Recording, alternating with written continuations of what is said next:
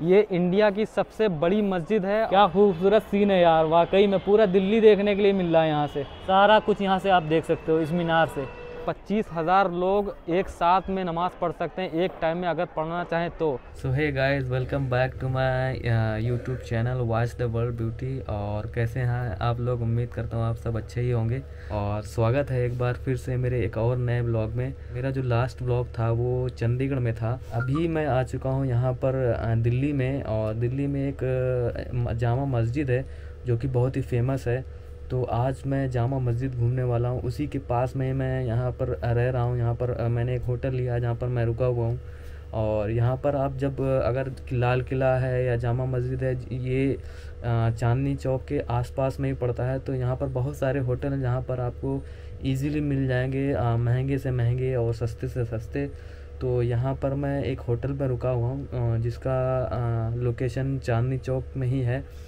सो चलिए, मैं इसका थोड़ा सा आपको दिखा देता हूँ। उसके बाद में हम चलेंगे जामा मस्जिद और उसको, उसकी जो हिस्ट्री है और जो कुछ भी है वहाँ जामा मस्जिद का वो सब मैं आपको दिखाने वाला हूँ ओके सो गाइज़ ये है मेरा रूम जहाँ पर मैं रह रहा हूँ। इस होटल में मेरी सारी चीज़ें यहाँ पर बिखरी हुई हैं, देख सकते हैं। और मैं एकदम टेरेस पे रुका हुआ हूँ, जो कि यहाँ पर देख सकते हैं जा बहुत ही अच्छा यहाँ पर सीन है, क्योंकि नीचे भी मुझे रूम मिल रहे थे, लेकिन मुझे टेरिस पे आना था, क्योंकि यहाँ से बाहर का नज़ारा देखने को मिल जाता है। तो ये कुछ सीन है, बाकी के ये यहाँ पे ये रूम है और ये रूम है जो कि फैमिली है बैचलर भी हैं फैमिली भी हैं बहुत सारे रूम हैं नीचे चार माले की ये बिल्डिंग है जिसमें सारे रूम ही रूम हैं फ्लैट हैं पूरे। उधर वहाँ जाएँगे तो वहाँ से भी सारे रूम हैं और यहाँ पर लिफ्ट भी लगी है क्योंकि चार फ्लोर का आ, ये बिल्डिंग है तो इसके लिए यहाँ पर जीने भी हैं और लिफ्ट भी है ये लिफ्ट है यहाँ पर। सो ये जो जहाँ पर मैं रुका हूँ इसका जो भी प्राइस है वो मैं आपको आ, बता देता हूँ कि डेढ़ सौ रुपये वन फिफ्टी रुपीज़ से लेकर के नाइन हंड्रेड तक यहाँ पर चार्जेस हैं जिस जिस टाइप का आप यहाँ पर रूम लेंगे, उस हिसाब से आपको चार्जेस पड़ेंगे। तो ये जो मेरा रूम है, ये थ्री हंड्रेड फिफ्टी रुपीज़ का है। यहाँ पर मैं टेरिस पे एकदम ऊपर रह रहा हूँ।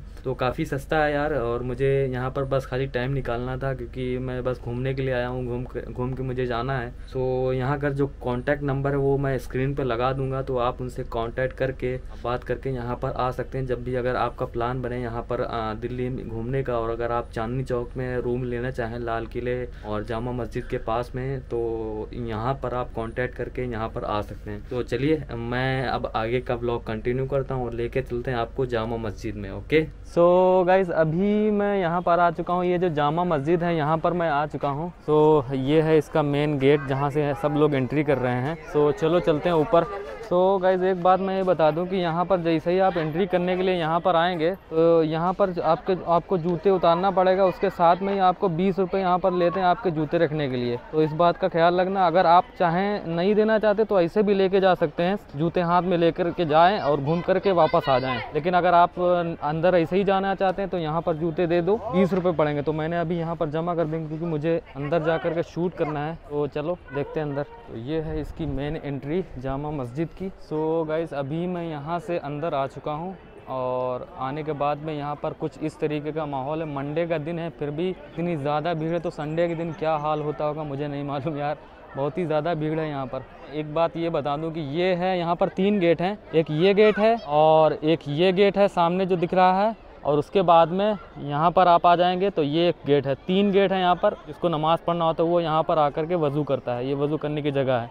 और उसके बाद में अंदर जाएँगे तो वहाँ पर नमाज़ होती है। एक बात मैं ये बता दूँ, अगर आपका यहाँ पर जामा मस्जिद में आने का कभी भी प्लान बने तो इसकी जो लोकेशन है, दिल्ली में चांदनी चौक एरिया पड़ता है, जहाँ पर लाल किला और ये जो जामा मस्जिद है, दोनों ही एक ही पास में ही हैं तो यहाँ पर आप एक दूसरे की जगह पर पैदल ही जा सकते हैं, कोई ख़ास दूरी नहीं है। और इसकी जो टाइमिंग है जामा मस्जिद की, वो सुबह सात बजे से दोपहर बारह बजे तक और उसके बाद में डेढ़ बजे, यानी वन थर्टी फिर ओपन होता है, शाम के साढ़े छः बजे तक ओपन रहता है और हर दिन ये ओपन रहता है। देखते हैं आगे क्या क्या देखने को मिल सकता है ओके सो बने रहिए मेरे साथ में इस ब्लॉग में ओके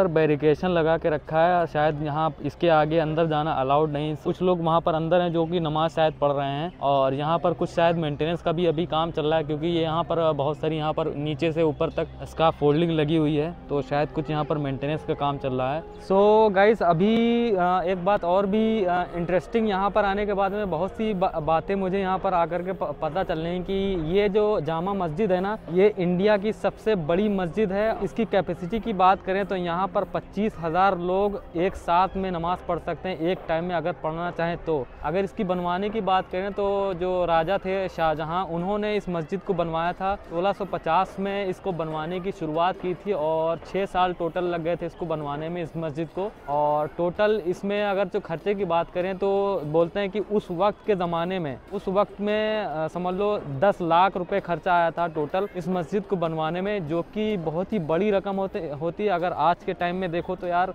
अरबों खरबों में पहुँचेगी जाके। और ये जो मस्जिद है ना, जैसे कि अपने यहाँ कोई भी घर बनता है या कोई भी चीज़ बनती, कोई ना कोई जिम्मेदार होता है जो उसकी ज़िम्मेदारी में हर चीज़ होती, सारे काम होते हैं। तो ये जो मस्जिद बन रही थी तो उस वक्त शाहजहाँ ने, सदाउल्ला खान एक वज़ीर थे उनके टाइम में। तो उनको ये ज़िम्मेदारी दी थी कि आपको ये मस्जिद पूरी जो भी काम है, सारा आपकी ज़िम्मेदारी में होगा। तो ये कुछ बात, बातें हैं जो मैंने आपको बताई। सो गाइज़ ये जो वज़ू करने की जगह है, यहाँ पर जामा मस्जिद में, यहाँ पर एक ख़ास बात मुझे अभी यहाँ आने के बाद में मालूम पड़ी, वो ये है, यहाँ के जो राजा थे उस टाइम में तो उनके ख्वाब में हमारे जो नबी करीम सल्लल्लाहु अलैहि वसल्लम जो हैं, वो आए थे और वो यहाँ पर वज़ू बना रहे थे। यहाँ के जो लोकल लोग हैं और यहाँ के जो अभी गाइड हैं, उनसे मैंने पूछा कि ये क्यों कवर करके रखा? तो उन्होंने ये बताया, इसी वजह से ये कवर करके रख दिया गया। तो ये काफ़ी इंटरेस्टिंग चीज़ है जो मुझे यहाँ आने के बाद में मालूम पड़ी। और इसमें कितनी सच्चाई है ये तो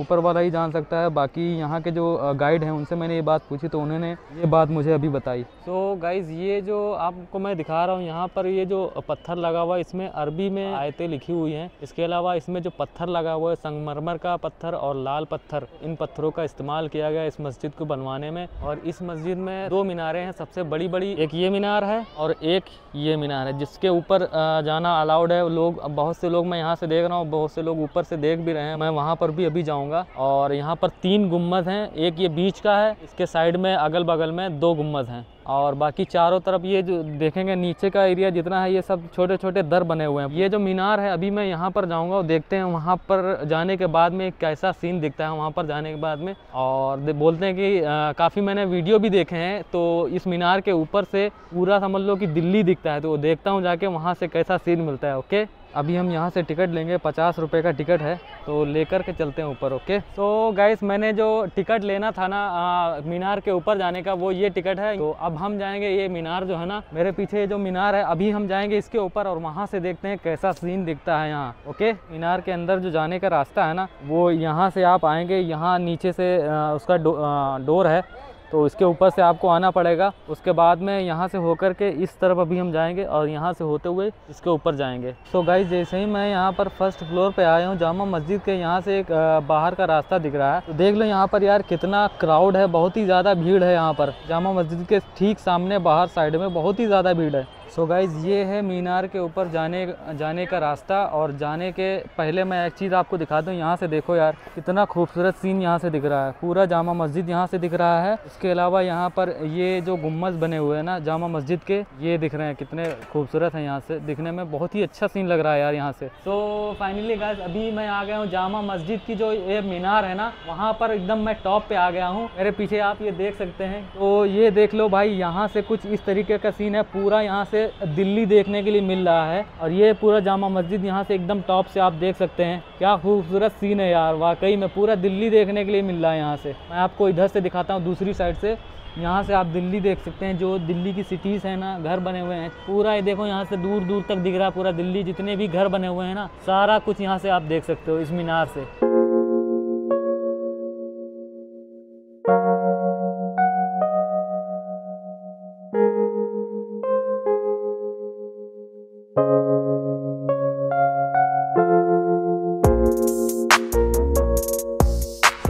गाइस अब इसी खूबसूरत से सीन के साथ में मैं इस व्लॉग को एंड कर रहा हूँ और वीडियो अगर अच्छा लगा यार तो इस चैनल को मेरे सब्सक्राइब कर लेना और लाइक कर देना और कमेंट्स करके मुझे ज़रूर बताना कि आपको मेरा ये ब्लॉग कैसा लगा और सब्सक्राइब यार ज़रूर कर लेना क्योंकि बहुत ही ज़्यादा मेहनत करनी पड़ती है ब्लॉग को बनाने के लिए। यहाँ जब इस मीनार पर मैं चढ़ के आया हूँ तो पूरी साँसें समझ लो फूल गई। तो एक बात का आप ध्यान रखना, जब कभी भी आप यहाँ जामा मस्जिद में आएँ और इस मीनार के ऊपर आएँ तो पानी की बोतल ज़रूर लेकर के आएँ और बाकी सब कुछ सही था। यहाँ पर काफ़ी अच्छा मेरा एक्सपीरियंस रहा। बाकी इंस्टाग्राम और फेसबुक पे मुझे फॉलो कर लेना। लिंक आपको डिस्क्रिप्शन में मिल जाएगा और बस यही कहना था मुझे और मैं मिलता हूँ आप नए लोकेशन पे किसी और नए ब्लॉग के साथ में। तब तक के लिए bye bye see you in my next blog